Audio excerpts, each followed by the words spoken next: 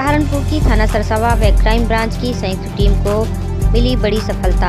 Police ने जंगलग्राम जगहीता नजीब चोपड़ा बाग के पास से हुई लूट की घटना का सफल अनावरण करते हुए किया घट, करते हुए घटना को अंजाम देने वाले तीन शातिर लुटेरों को मुठभेड़ के दौरान गिरफ़्तार किया है।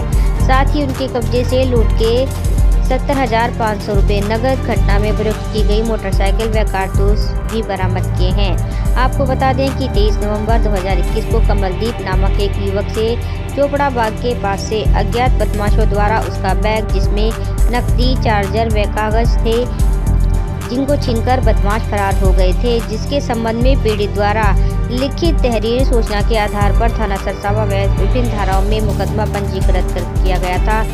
जिसका आज पुलिस ने खुलासा करते हुए चार साथियों में से तीन शातिर लुटेरों को गिरफ़्तार कर लिया, जिनके पास से लूटी गई नकदी भी बरामद की है। थाना सरसावा क्षेत्र में अभी तेईस नवंबर को एक घटना हुई थी। दिन दहाड़े एक लूट हुई थी। एक आदमी जो कमलदीप नाम का था जनपद शामली का रहने वाला। बाइक से जा रहे थे। बदमाशों ने तमंचा दिखाकर उनके ऊपर फायरिंग करके उनका बैग छिल लिया था। बैग में करीब एक लाख बासठ हज़ार रुपया था और उनका टैब था और कुछ और कागजात थे। उस घटना का सफल खुलासा हुआ है। हमारी क्राइम ब्रांच प्रदेश तो की टीम ने और ससवा पुलिस ने मिलकर किया है। उस घटना में शामिल तीन अभियुक्त गिरफ़्तार किए गए हैं। उसके कब्जे से लूट का सत्तर हज़ार पाँच सौ रुपये बरामद हुआ है। तमंचे तमंचे आज बरामद हुए हैं। एक अभियुक्त तो अभी और शेष है।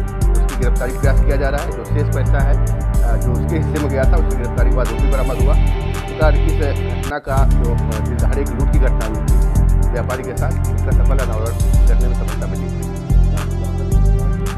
ये अच्छे अपराधी है, पहले भी लूट के मामलों में जेल गए हैं। अभी इनसे और पूछताछ जारी है। इनका जो फरार साथी उसकी भी गिरफ्तारी का